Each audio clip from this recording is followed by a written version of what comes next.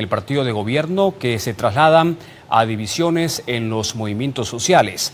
Este pasado sábado en la madrugada se llevó adelante un enfrentamiento en la sede campesina ubicada en la avenida Irala, aquí en Santa Cruz. Según la información, gente eh, afín a los arcistas de los campesinos ingresaron hasta esta sede con petardos, piedras y palos para desalojar a quienes estaban al interior. Según el dirigente Franklin eh, Vargas de los campesinos, denunció este atropello y en contrapartida el dirigente que encabezaba este ingreso, este desalojo de los eh, campesinos del ala evista, dijo de que están recuperando la sede campesina para trabajar en consonancia con el gobierno y evitar más atropellos por parte del evismo.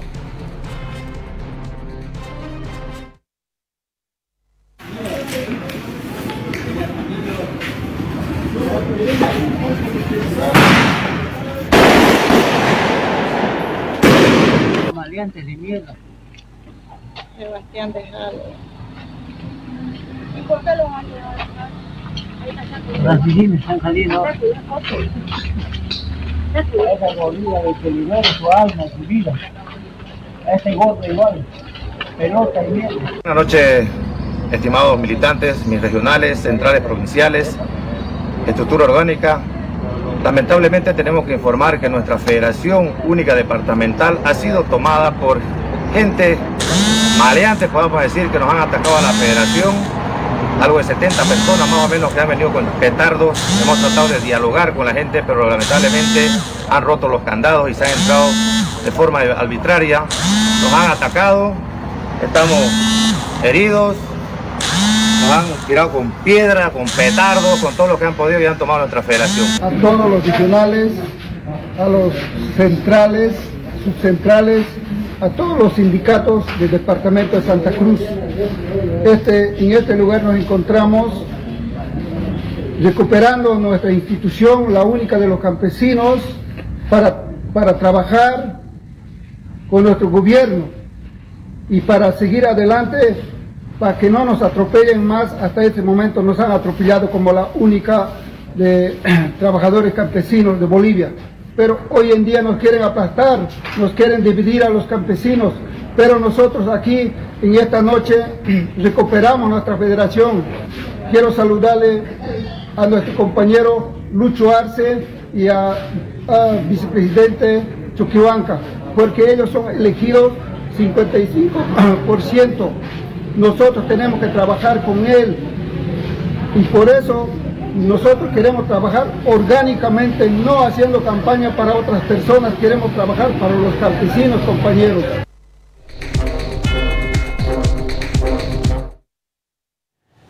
Claramente una pugna interna que se mantiene entre los evistas y los arcistas. En este caso, los arcistas han desalojado a los evistas en la sede campesina de Santa Cruz y es parte de un conflicto que increíblemente la policía no se encontraba en el lugar para evitar que esto quizás pase a mayores o pudo darse mayores eh, situaciones complicadas que se pudieron evitar. Lo cierto es que hubieron algunos enfrentamientos y ahora la sede campesina estaría en manos de los que responden al ala arcista.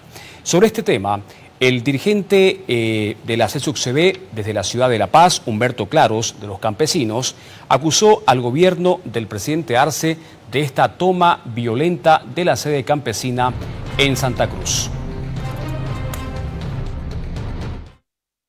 Debemos repudiar hacer una denuncia pública, principalmente frente a instancias de derechos humanos, a instancias internacionales, de que esta madrugada se ha cometido un acto absolutamente dictatorial, fascista, por el gobierno de Lucho Arce Catacora contra la Federación Sindical Única de Trabajadores Campesinos de Santa Cruz, del departamento de Santa Cruz. Como a la una de la mañana, un grupo de vándalos, malvivientes, pandilleros, contratados por el aparato público de Lucho Arce Catacora, ingresa con explosivos a la sede de la Federación Única de Campesinos de Santa Cruz y en complicidad conciertos interculturales, además, hay que decirlo.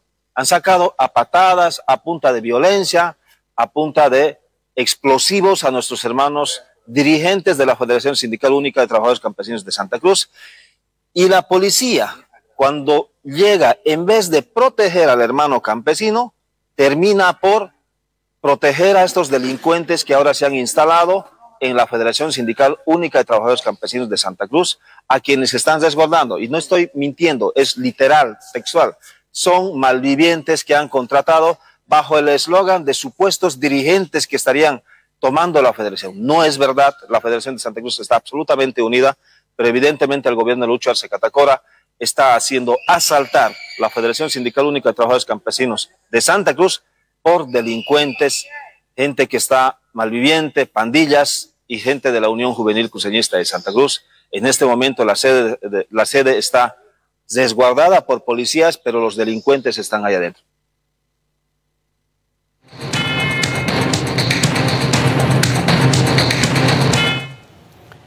Y este conflicto interno entre los campesinos podría agravarse en las próximas horas porque el dirigente Eufronio Herrera, quien es de la línea de Franklin Vargas, el dirigente que fue desalojado de esta sede y que serían evistas, anunció de que van a llamar un ampliado de emergencia para tomar medidas y no se descarta ir a un bloqueo indefinido de carreteras hasta que los arcistas puedan devolver la sede campesina al dirigente Franklin Vargas, quien recién cumple eh, su gestión en cuatro meses.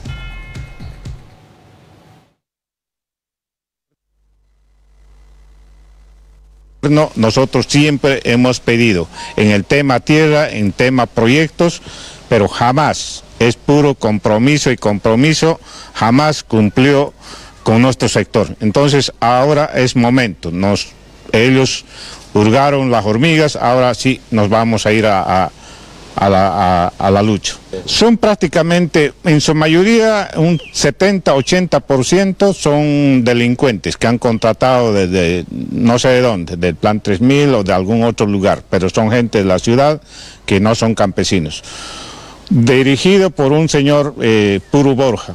Este señor está, ha tenido reuniones con el señor Castillo, el ministro de Gobierno, y mil o de algún otro. Ayer mismo en la mañana hemos convocado a un ampliado de emergencia, la cual ayer tarde se llevó, casi a, las 10 de la noche concluimos, y se ha determinado eh, eh, el bloqueo departamental de carreteras en todo lo que es el departamento de Santa Cruz el día martes a partir de las 0 horas. Queremos, primero, que nos haga devolver la sede, segundo, queremos cumplimiento. Desde el día que ha entrado este gobierno, nosotros siempre hemos pedido en el tema tierra, en tema proyectos, pero jamás es puro compromiso y compromiso, jamás cumplió con nuestro sector. Entonces ahora es momento, nos, ellos hurgaron las hormigas, ahora sí nos vamos a ir a, la, lucha. Son prácticamente, en su mayoría, un 70-80% son delincuentes que han contratado desde no sé de dónde, del Plan 3000 o de algún otro lugar, pero son gente de la ciudad que no son campesinos. Dirigido por un señor eh, Puru Borja. Este señor está... Vamos a cambiar de información y lo hacemos con el anuncio de un paro de 24 horas movilizados para este día lunes en la maternidad Percibola. Los trabajadores del sindicato de esta maternidad en Santa Cruz están en estado de emergencia porque no son atendidos en su demanda ante el hacinamiento, falta de condiciones, falta de equipamiento para atender en esta maternidad tan importante que tiene nuestra ciudad. Según la dirigenta Laura Rojas, Está previsto un paro movilizado este lunes y no descartan radicalizar las medidas con un paro indefinido y también una huelga de hambre. No tuvimos respuesta ante el pedido de los trabajadores por el hacinamiento que hay en neonatología. Y bueno, lastimosamente decirle a la población que hemos tomado la determinación de hacer un paro de 24 horas, de las 0 horas del día mañana, lunes 15 Será un paro movilizado donde eh, recibimos el apoyo de las juntas vecinales. Estará el pueblo también con nosotros porque también somos nosotros parte del pueblo. Y lamentamos que la comisión del día viernes que vino tantos delegados de sede como del ministerio que no se hayan sentado con los trabajadores para dialogar sobre el conflicto. Empezaremos, eh, tendremos que seguir con el paro escalonado de 48 y 72 horas y no desearíamos llegar a un paro indefinido. Posterior a eso, la extrema medida de la huelga de hambre sería.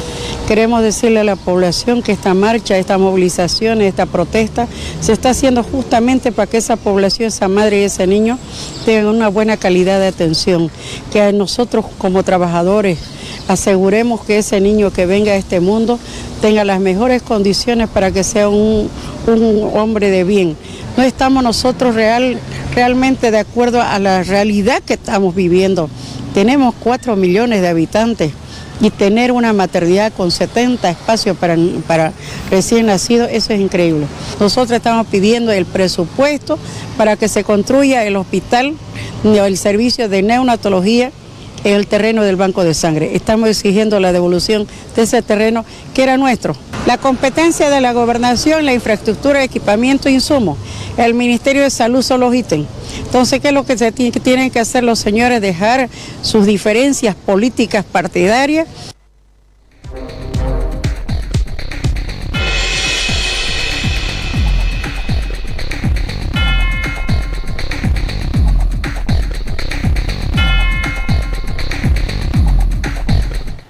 Complicada la situación en el país, en el tema de la justicia, pero también la salud, que son cosas o temas de fondo que están preocupando porque no existen condiciones, ya lo decía la dirigente de la maternidad Percy Bolan, con respecto a este paro, lamentablemente este día lunes que van a ingresar los trabajadores del sindicato exigiendo condiciones en la maternidad Percy Bolan. Sobre este tema tan preocupante, la Iglesia Católica a través del arzobispo de Santa Cruz, René Leigue, eh, también expresó su preocupación. El monseñor dijo, no es posible que sigan los enfermos, eh, no sean atendidos, no hay médicos, no hay hospitales. Llamó a las autoridades de salud a atender estas demandas porque para eso fueron elegidos. ¿Qué podemos hacer? La respuesta la tendrá cada uno, ¿no? ¿Qué puede hacer ahora? Cuando tenemos un momento muy difícil en la salud, por ejemplo, cada día la noticia de eso, ¿no? Especialmente aquí en Santa Cruz. Vemos los hospitales llenos de personas que necesitan ser atendidos. Pero la respuesta es que no hay médicos, no hay enfermeras y sobre todo no hay espacio donde poner a los enfermos. ¿Qué hacer ahí? Las autoridades, pues a las que le corresponde, cada uno dice, no le toca esto, le toca al otro, como si no me toca a mí responder a esto. Y ahí está esa lucha de poder que nadie se decide qué es lo que tiene que hacer. Cuánto no quisiéramos ¿no? que, que de verdad nuestras autoridades respondan a las necesidades que tenemos. Nuestra esperanza está ahí en ellos. Han sido elegidas para eso, para trabajar, para estar al lado del pueblo. Pero hoy en día parece que están mirándose cada uno a ver el futuro, qué futuro queremos, pero para ellos, no para la sociedad. Entonces en este ambiente que vivimos tenso de lucha, de, de, de poder, podemos llamarlo así, ¿qué nos toca hacer a nosotros?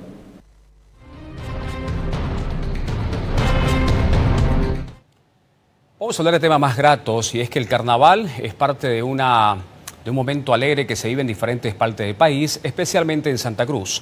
Este pasado día viernes se llevó adelante la segunda precarnavalera por parte de comparsas, ballet y otros grupos que fueron el deleite del público en un recorrido que empezó desde el primer anillo de Avenida Libertad y que llegó hasta la plaza principal 24 de septiembre.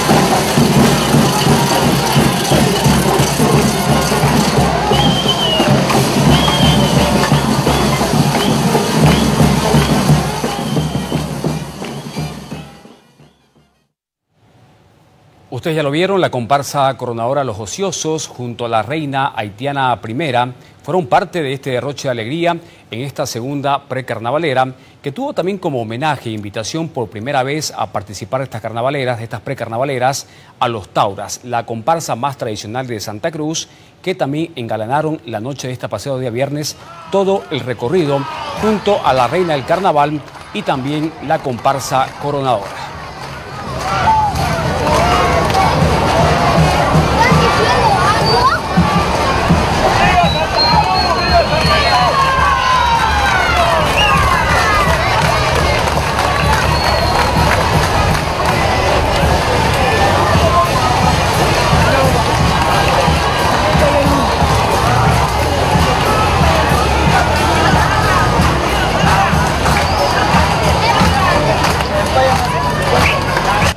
Es la primera vez que los Tauras salimos en una precarnavalera en los 76 años de vida de nuestra comparsa.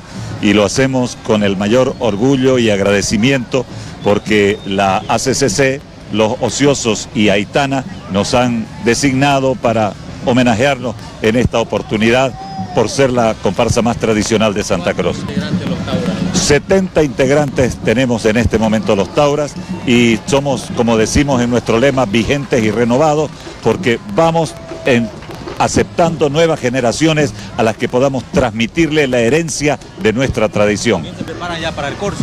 Por supuesto, nosotros abrimos el corso y le hacemos eh, el homenaje a la reina Aitana I. En la precarnavalera la primera vez, sí. Estamos participando con la familia, estamos contentos, estamos agradecidos con la Asociación de Comparsa, con la comparsa coronadora, los ociosos y con el Club Willy. Mire que es una cosa grandiosa, es un espectáculo que nos gusta a todos, ¿no es cierto? Y, y ojalá que lo podamos hacer todos los años, los Tauras, una entrada al carnaval con ellos, ¿no? Sí, después viene el corso y los días de carnaval que tenemos que ser eh, también derroche de alegría.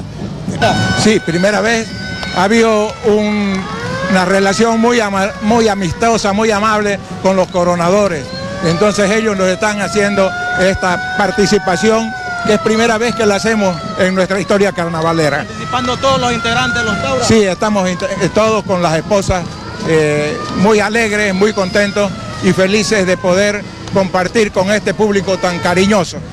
Que sí, soy la, es la- nos gusta la alegría del carnaval en Santa Cruz. Primera vez que los Tauras participan de la preca.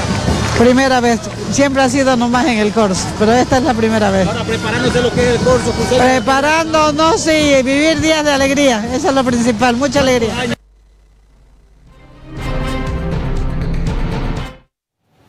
Un gran espectáculo, ¿no? Los Tauras con muchos personajes de la sociedad cruceña que son parte de esta comparsa tradicional, como por ejemplo el doctor Erlan Bacadíes, un proveniente médico, eh, gran persona, expresidente cívico, que también es parte de esta comparsa y que por primera vez, como ustedes lo escuchaban, participaban de una precarnavalera en Santa Cruz, invitados por la comparsa coronadora y la reina del carnaval.